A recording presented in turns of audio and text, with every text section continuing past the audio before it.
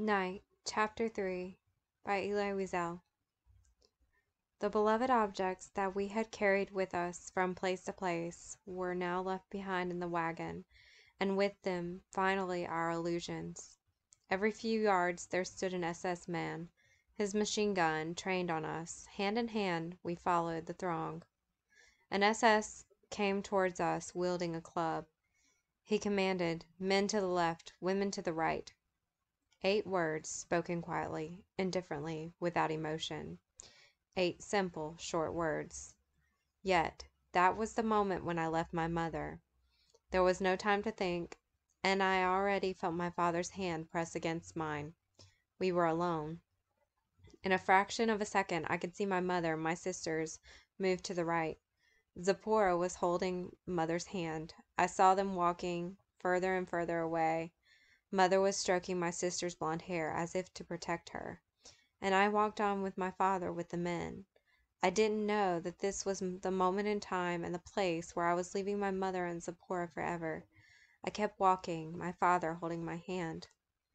Behind me, an old man fell to the ground. Nearby, an SS man replaced his revolver in its holster. My hand tightened its grip on my father. All I could think of was not to lose him, not to remain alone. The SS officers gave the order, "Form ranks of five." There was a tumult. It was imperative to stay together. "Hey, kid, how old are you?"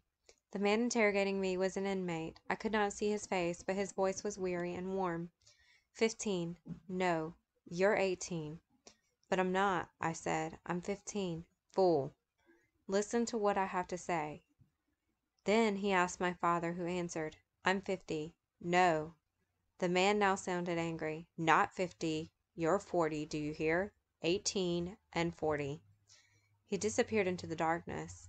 Another inmate appeared, unleashing a stream of invectives. "Sons of bitches! Why have you come here? Tell me why!" Someone dared to reply. "What do you think? That we came here of our own free will?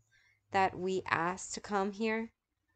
The other seemed ready to kill him. "Shut up, you moron, or I'll tear you to pieces. You should have hanged yourselves rather than come here. Don't you know what was in store for you here at Auschwitz? You didn't know in 1944?" True, we didn't know. Nobody had told us. He couldn't believe his ears. His tone became even harsher. "Over there, do you see the chimney over there? Do you see it? And the flames, do you see them?" Yes, we saw the flames. Over there. That's where they will take you. Over there will be your grave. Do you, you still don't understand? You sons of bitches, don't you understand anything? You will be burned. Burned to a cinder. In, turned into ashes. His anger changed into fury. We stood stunned, petrified. Could this just could this be just a nightmare, an unimaginable nightmare? I heard whispers all around me. We must do something. We can't let them kill us like that. Like cattle in the slaughterhouse, we must revolt. There were among us a few young, tough young men. They actually had knives and were urging us to attack the armed guards. One of them was muttering, Let the world learn about the existence of Auschwitz. Let everybody find out about it while they still have a chance to escape. But the older man begged their sons not to be foolish. We must not give in, we mustn't give up give up hope. Even now as the world sword hangs over our heads, so taught our sages. The wind of revolt died down. We continued to walk until we came to a crossroads. Standing in the middle of it, though I didn't know it then, Dr. Mengele, the notorious Dr. Mengele. He looked like the typical SS officer, a cruel, though not unintelligent face, complete with a monocle. He was holding a conductor's baton and was surrounded by officers. The baton was moving constantly, sometimes to the right, sometimes to the left. In no time I stood before him. "Your age?" he asked, perhaps trying to sound paternal. "I'm eighteen." My voice was trembling. "In good health?" "Yes." "Your profession?" Tell him that I was a student? "Farmer," I heard myself saying. This conversation lasted no more than a few seconds. It seemed like an eternity. The baton pointed to the left. I took a half step forward. I first wanted to see where they would send my father. Where we where he had to have gone to the right, I would have run after him. The baton once more moved to the left. A weight lifted from my heart. We did not know as yet which was the better side, right or left, which road led to prison and which to the crematoria. Still, I was happy. I was near my father. Our procession continued slowly to move forward. Another inmate came over to us. Satisfied? Yes, someone answered. Poor devils, you are headed for the crematorium. He's be telling the truth. Not far from us, flames, huge flames, were rising from a ditch. Something was being burned there. A truck drew close and unloaded its hold. Small children, babies. Yes, I did see this with my own eyes. Children thrown into the flames. Is it any wonder that ever since then sleep tends to elude me? So that was where we were going. A little further on, there was another larger pit for adults. I pinched myself. I, was I still alive? Was I awake? How was it possible that men, women, and children were being burned and that the world kept silent? No, all this could not be real. A nightmare, perhaps. Soon I would wake up with the start in my heart pounding and find that I was back in the room of my childhood with my books. My father's voice tore me from my daydreams. What a shame, a shame you did not that you did not go with your mother. I saw many children your age go with their mothers. His voice was terribly sad. I understood that he did not wish to see what they would do to me. He did not wish to see his only son go up in flames.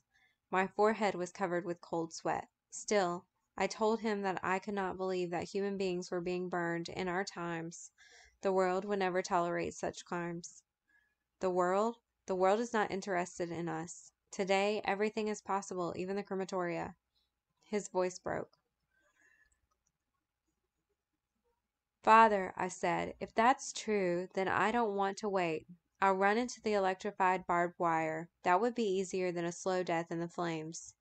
He didn't answer. He was weeping. His body was shaking. Everybody around us was weeping. Some someone began to recite Kaddish, the prayer for the dead. I don't know whether during the history of the Jewish people men have ever before recited Kaddish for themselves. Yigsal v'shkirash shemi rabba. May his name be celebrated and sanctified, whispered my father. For the first time, I felt anger rising within me. Why should I sanctify his name? The Almighty, the eternal and terrible Master of the universe, chose to be silent. What was there to thank him for? We continued our march. We were coming closer and closer to the pit, from which the infernal heat was rising. Twenty more steps. If I was going to kill myself, this was the time. Our column had only some fifteen steps to go. I bit my lips so that my father would not hear my teeth chattering. Ten more steps. Eight. Seven. We were walking slowly as one follows a hearse. Our own funeral procession. Only four more steps. Three. There it was now, very close to us, the pit and its flames. I gathered all that remained of my strength in order to break rank and throw myself onto the barbed wire. Deep down, I was saying goodbye to my father, to the whole universe, and against my will, I found myself whispering the words, Yisrael Veshkedash Shemi. May his name be exalted and sanctified. My heart was about to burst. There, I was face to face with the angel of death. No, Two steps from the pit, we were ordered to turn left and herded into barracks. I squeezed my father's hand. He said, Do you remember Mrs. Schächter on the train? Never shall I forget that night, the first night in the camp, that turned my life into one long, seven night, seven times sealed. Never shall I forget that smoke. Never shall I forget the small faces of the children whose bodies I saw transformed into smoke under a silent sky. Never shall I forget the flames that consumed my face forever. Never shall I forget the nocturnal silence that deprived me for all eternity of the desire to live. Never shall I forget those moments that murdered my God and my soul and turned my dreams into ashes. Never shall I forget those things, even were I condemned to live as long as God Himself. Never.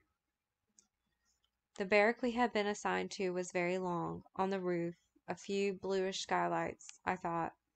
This is what the antechamber of hell must look like. So many crazed men, so much shouting, so much brutality. Dozens of inmates were there to receive us, sticks in hand, striking anywhere, anyone, without reason. The orders came. Strip. Hurry up, boss. Hold on only to your belt and shoes. Our clothes were to be thrown on the floor of the barrack at the back of the barrack. There was a pile already. New suits, old ones, torn overcoats, rags. For us it meant true equality, nakedness. We trembled in the cold. A few SS officers wandered through the room, looking for a strong man. Strong men. If vigor was that appreciated, perhaps one should try to appear more sturdy. My father thought the opposite. Better not to draw attention. We later found out that he had been right. Those who were selected that day were incorporated into the Sonderkommando, the commando working in the crematoria. Bela Katz, the son of an important merchant of my town, had arrived in Birkenau with the first transport, one week ahead of us. When he found out that we were there, he succeeded in slipping us a note. He told us that having been chosen because of his strength, he had been forced to place his own father's body into the furnace.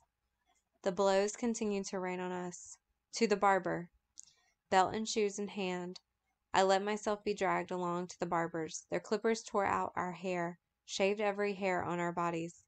My head was buzzing, the same thought surfacing over and over not to be separated from my father. Freed from the barber's clutches, we began to wander about the crowd, finding friends, acquaintances. Every encounter filled us with joy. Yes, joy. Thank God you are still alive. Some were crying. They used whatever strength they had left to cry.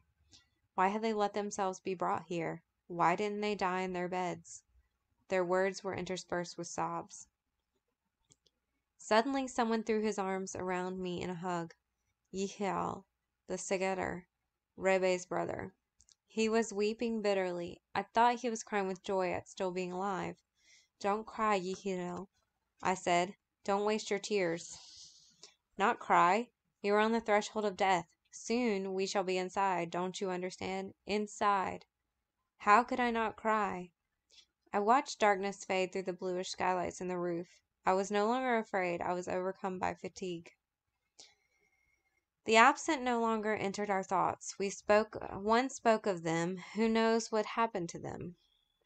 But their fate was not in our minds. We were incapable of thinking. Our senses were numbed. Everything was fading into a fog. We no longer clung to anything. The instincts of self preservation, of self defense, of pride had all deserted us. In one terrifying moment of lucidity, I thought of us as damned souls wandering through the void souls condemned to wander through space until the end of time, seeking redemption, seeking oblivion, without any hope of finding either. Around five o'clock in the morning, we were expelled from the barrack. The capos were beating us again, but I no longer felt the pain. A glacial wind was enveloping us. We were naked, holding our shoes and belts in order. Run, and we ran. After a few minutes of running, a new barrack. A barrel of foul smelling liquid stood by the door disinfection, everybody soaked in it. Then came a hot shower, all very fast. As we left the showers, we were chased outside and ordered to run some more. Another barrack, the storeroom. Very long tables, mountains of prison garb. As we ran, they threw the clothes at us pants, jackets, shirts. In a few seconds, we had ceased to be men. Had the situation not been so tragic, we might have laughed. We looked pretty strange. Meir Katz, a colossus, wore a child's pants, and Stern, a skinny little fellow, was floundering in a huge jacket. We immediately started to switch. I glanced over at my father.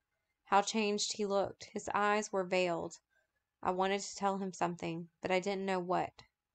That the night had passed completely. The morning star shone in the sky. I too had become a different person. The student of the Talmud, the child I was, had been consumed by the flames. All that was left was a shape that resembled me.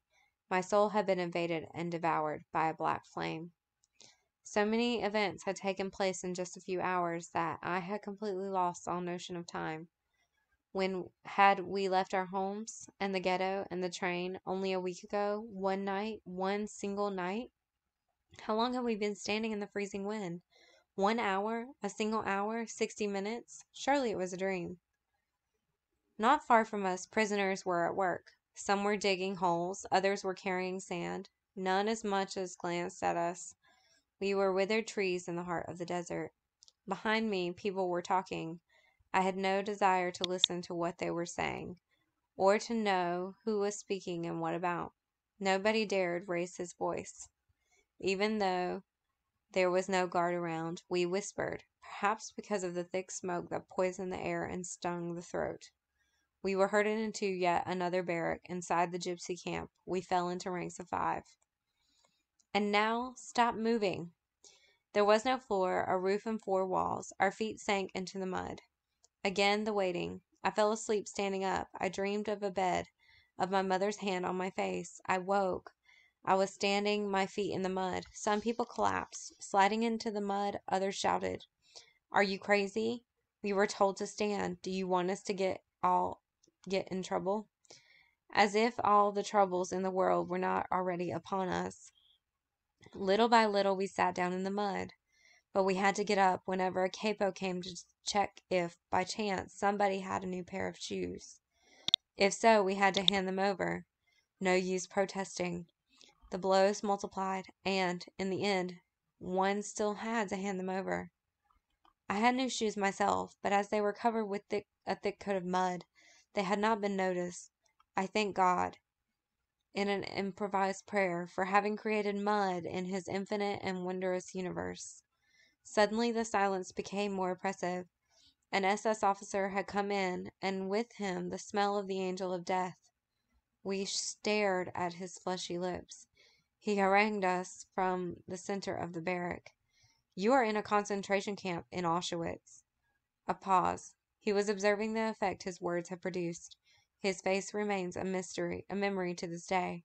A tall man in his thirties came, written all over his forehead in a gaze. He looked at us as one would remember would a pack of leprous dogs clinging to life. Remember, he went on, remember it always. Let it be graven in your memories. You are in Auschwitz, and Auschwitz is not a convalescent home. It is a concentration camp. Here you must work. If you don't, you will go straight to the chimney, to the crematorium. Work or crematorium. The choice is yours. We had already lived through a lot that night. We thought that nothing could frighten us any more, but his harsh words sent shivers through us. The word chimney here was not an abstraction. It floated in the air, mingled with the smoke. It was, perhaps, the only word that had real meaning in this place. He left the barrack. The capos arrived shouting. All specialists, locksmiths, carpenters, electricians, watchmakers, one step forward. The rest of us were transferred to yet another barrack, this one of stone. We had permission to sit down. A gypsy inmate was in charge. My father suddenly had a colic attack. He got up and asked politely in German, Excuse me, could you tell me where the toilets are located? The gypsy stared at him for a long time from head to toe, as if he wished to ascertain that the person addressing him was actually a creature of flesh and bone, a human being with a body and a belly. Then, as if waking from a deep sleep, he slapped my father with such force that he fell down and then crawled back to his place on all fours.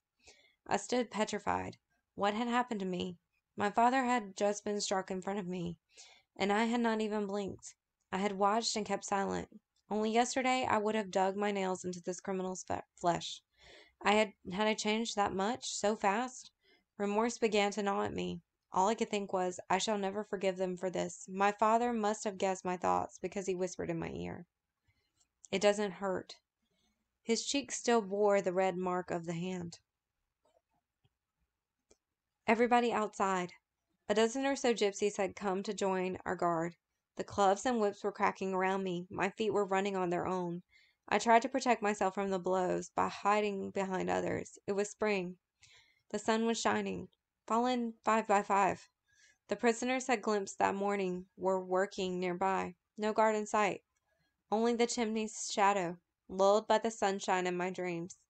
I felt someone pulling at my sleeve. It was my father. Come on, son. We marched. Gates opened and closed. We continued to march between the barbed wire. At every step, white signs with black skulls looked down on us. The inscription, Warning, Danger of Death. What irony!